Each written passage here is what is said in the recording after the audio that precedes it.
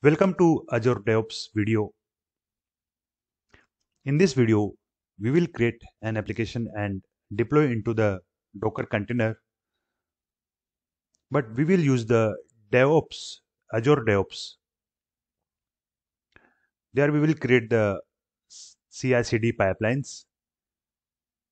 The purpose of creating the CI/CD pipelines in your project, if you are using the repository, then if someone from your team make the changes in the code and push into the repository, the code should be built automatic without an, any manual action.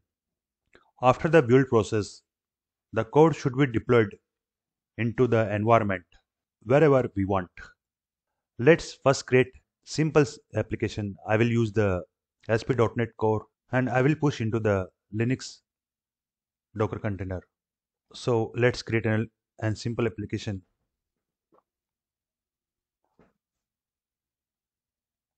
I can create one application and I will give the name. I will take the simple core core web MVC application and I will give the name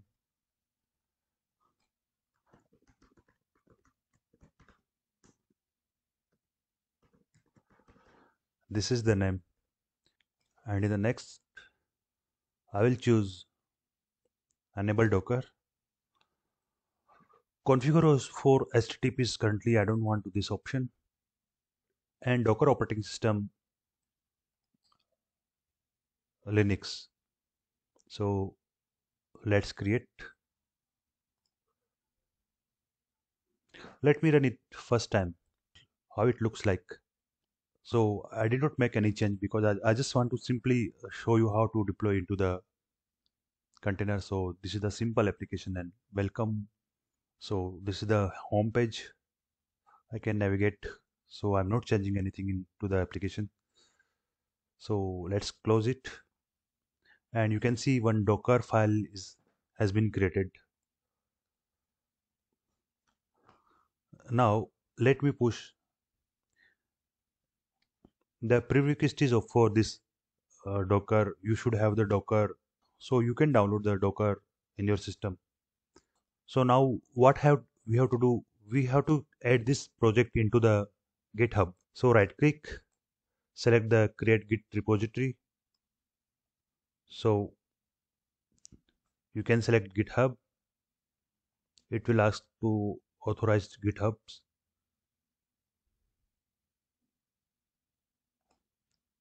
and it will be validated and you can see I, I had already created the github account so it just validated the account. Here you can see I have selected the account. So I can create the repository with the name singleton infosoft create and push. So now it has been done. This is the repository that we have created and all the then the project has been moved to the repository. Let's create the Azure Container Registry. So I have the command to create Azure Container Registry. You can utilize this command. I can log in to the uh, Azure first, Azure login.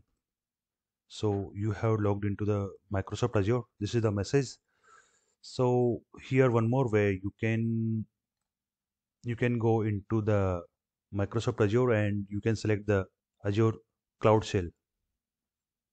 Here it will ask you to create the storage account. So you can click create storage. Cloud Shell need storage account. So it's creating the storage. Now here we can see. So let me push the image let me push the command here. As it create name we need to give the ACR name Azure Container Registry. That is actually the private Docker.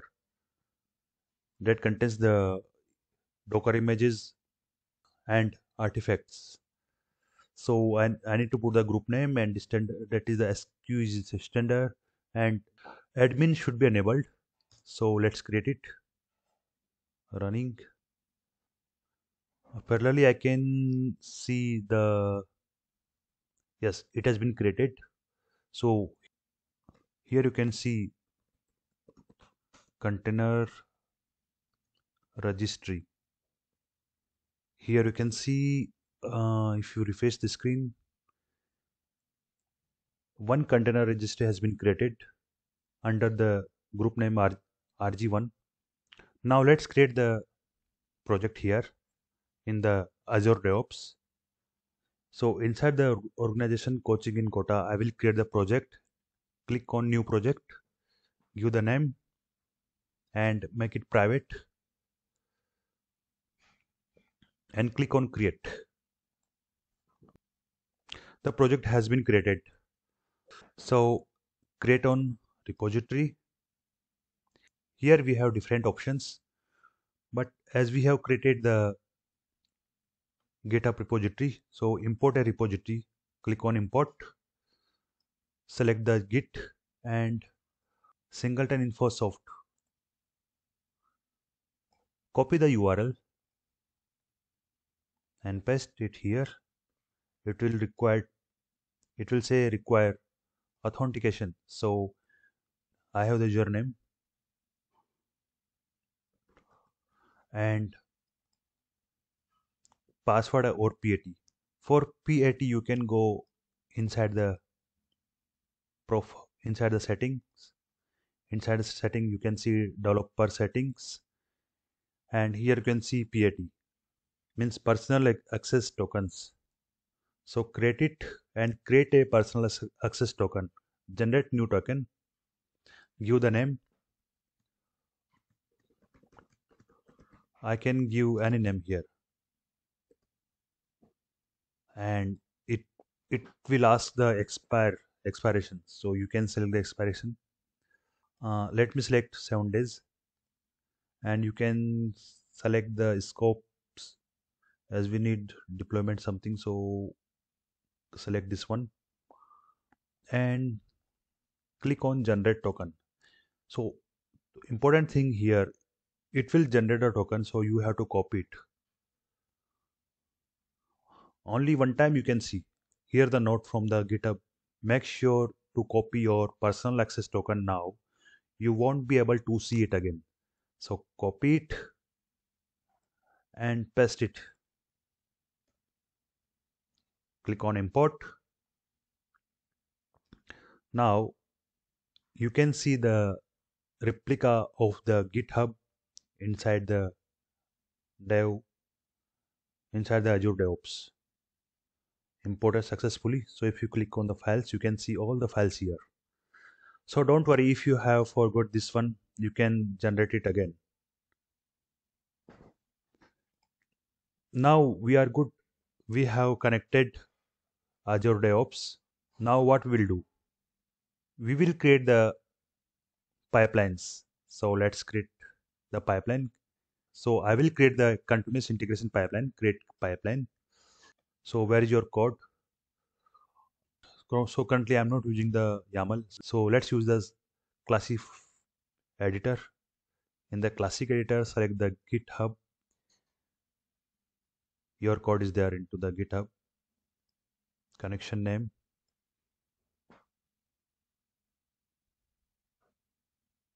Authorized using github using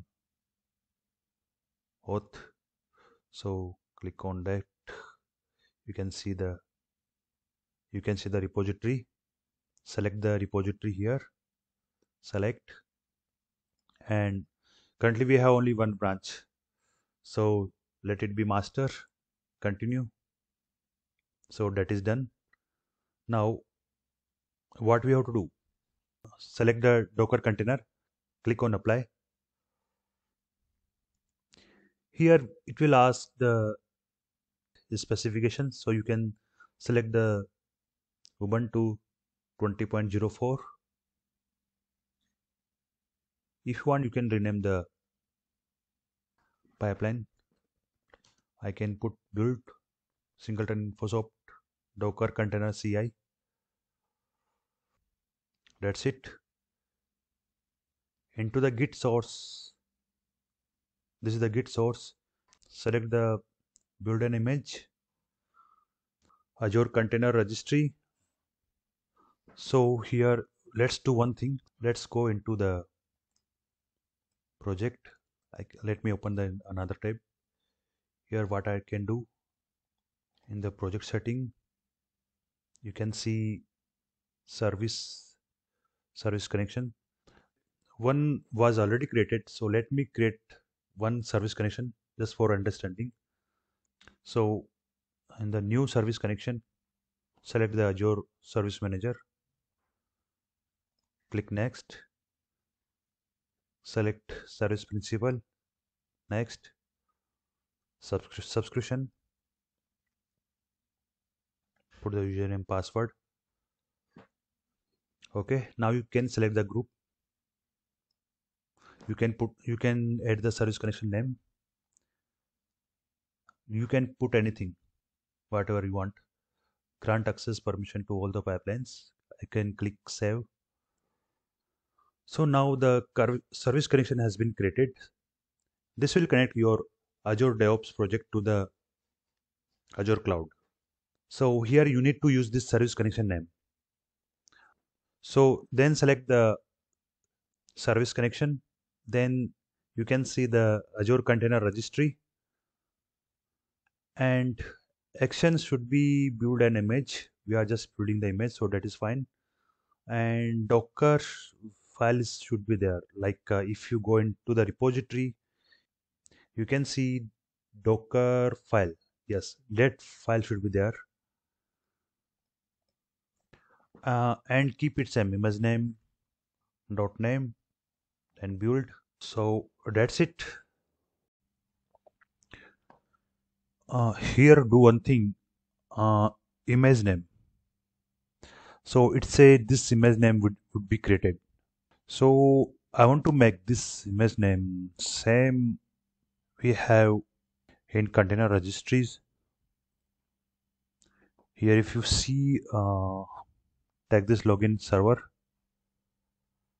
because uh, after the build pipeline will create the image with this name. So what can I do? I can put this image here in this way here copy it I can put image here with this way this is actually login server. You can put this in inside the variable. So what you can do? Just uh, create a variable give the name container registry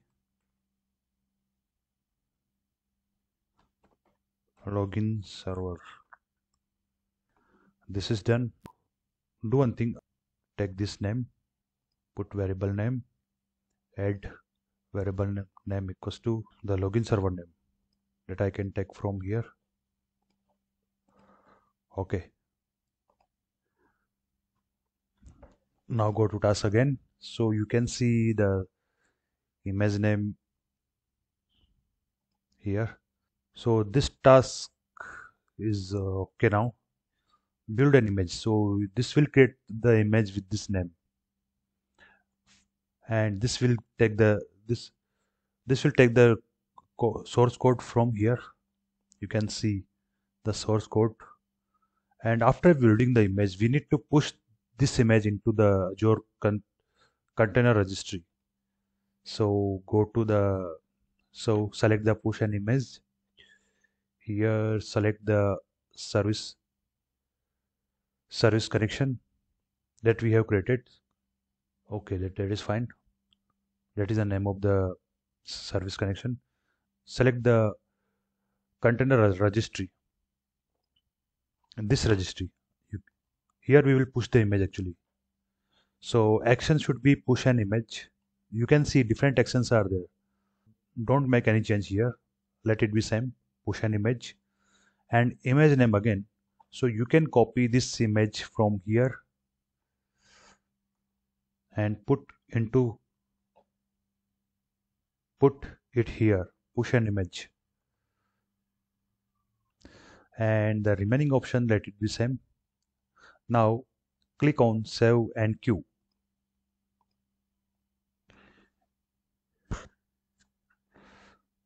Give the name. Build image. I can put anything I can put here. I'm just running the pipeline. I'm running this pipeline.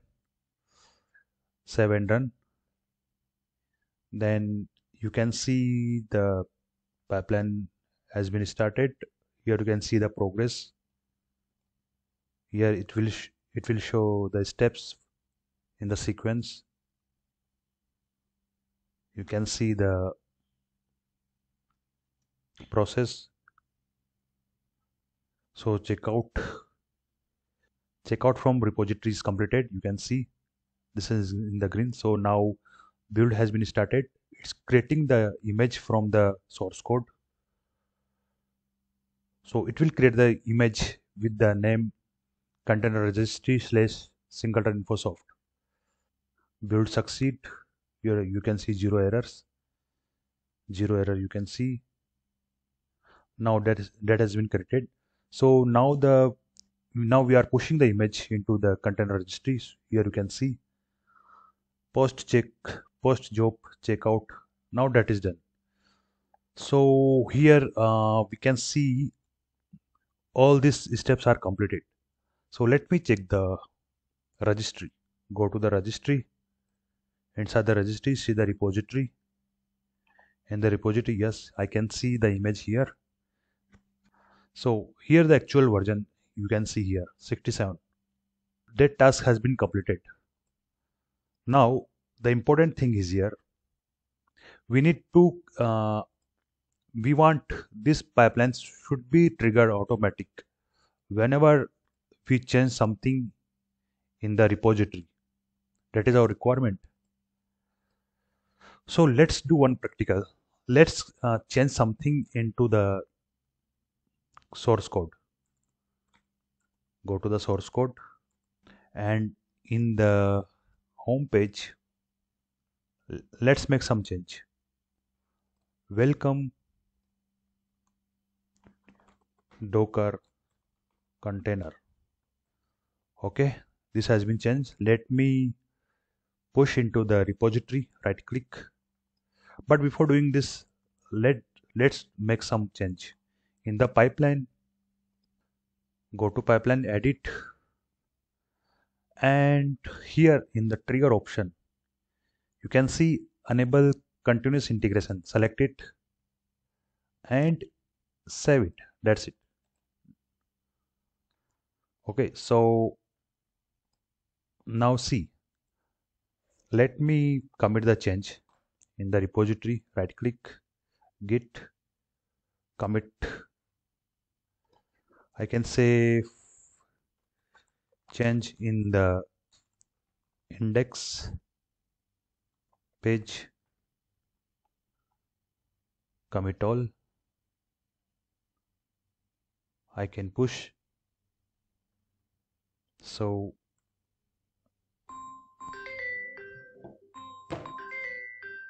let's see here.